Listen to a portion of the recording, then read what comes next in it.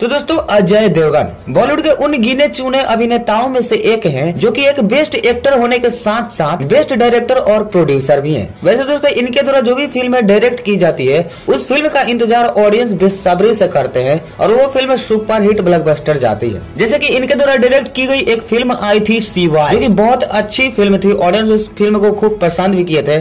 और ऐसे में इनकी एक और फ़िल्म आने वाली है, भोला, जो की इनके द्वारा ही डायरेक्ट की गई है। ऐसे में दोस्तों, अजय देवगन बॉलीवुड के इकलौते ऐसे एक्टर हैं कि जिस टाइम में बॉलीवुड की सारी फ़िल्मों को ऑडियंस नहीं देख पाती है बैकआउट कर देती है फ्लॉप कर देती है, उस टाइम में भी अजय देवगन की फ़िल्में ऑडियंस का दिल जीत पाने में कामयाब रहती है। जैसे कि 2022 के एंडिंग में इनकी दृश्यम टू मूवी ने धमाल ही मचा दिया था। और 2023 में भी अजय देवगन अपनी बड़ी बड़ी अपकमिंग फ़िल्मों से धमाका करने वाले हैं बॉक्स ऑफ़िस पर। ऐसा दोस्तों इस वीडियो में हम बात करने वाले हैं 2023 में आने वाली चार बड़ी फ़िल्में अजय देवगन की, जिसका क्रेज अभी से ही दिख रहा है। तो चलिए शुरू करते हैं। तो इसमें से पहले नंबर पर इनकी फ़िल्म आने वाली है भोला, जो कि 2023 की इनकी पहली फ़िल्म होने वाली है और इस फ़िल्म को भी खुद डायरेक्ट किए हैं अजय देवगन।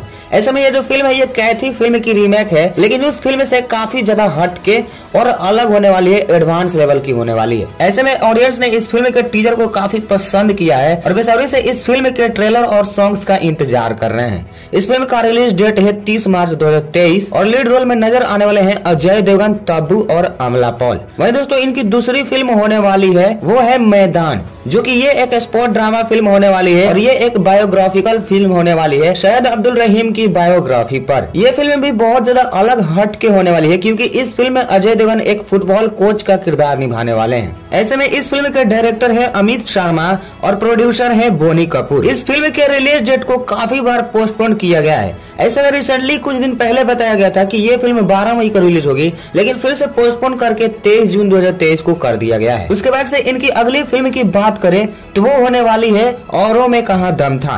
इस फ़िल्म की शूटिंग बहुत जल्द स्टार्ट हुई है रिसेंटली फरवरी महीने से ही, यानी कि चार फरवरी से इस फ़िल्म की शूटिंग स्टार्ट हुई है। इस फ़िल्म को डायरेक्ट कर रहे हैं नीरज पांडे और ये एक लव एक्शन ड्रामा फ़िल्म होने वाली है। ऐसे में 2022 में अजय देवगन ने अक्टूबर महीने में ही शेयर करते हुए लिखा था अपने सोशल मीडिया अकाउंट के ज़रिए कि इस फ़िल्म की रिलीज़ डेट 16 जून 2023 होगी। लेकिन ऐसे में अभी के टाइम में इसकी ऑफिशियल अनाउंसमेंट नहीं की गई है कि ये फ़िल्म कब रिलीज़ होगी। लेकिन हाँ ये फ़िल्म 2023 में ही रिलीज़ होने वाली है। वहीं दोस्तों, इनकी चौथी फ़िल्म की बात करें तो वो होने वाली है सिंघम थ्री। जी हाँ दोस्तों सिंगम थ्री का भी क्रेज काफ़ी ज़्यादा है। और जैसा कि आप सभी को पता है कि इस फ़िल्म को डायरेक्ट करेंगे रोहित शेट्टी। और ये अजय देवगन की कॉफ यूनिवर्स की सबसे बड़ी फ़िल्मों में से एक होगी। इस फ़िल्म में काफ़ी सारे स्टार कास्ट का कैमियो भी लिया जाएगा, जैसे की अक्षय कुमार, रणवीर सिंह, चुलबुल पांडे, यानी की सलमान खान। तो इस वीडियो में इतना ही। बाकी आप हमें कमेंट में ज़रूर बताना की अजय देवगन की आप किस फ़िल्म का इंतज़ार कर रहे हो अभी। और रिलीज़ से पहले आपको इनमें से कौन सी फ़िल्म सबसे अच्छी लग रही है कमेंट में ज़रूर बताना। तब तक हम आपसे बहुत जल्द मिलते हैं नए वीडियो नए टॉपिक के साथ। तब तक के लिए थैंक यू जय हिंद।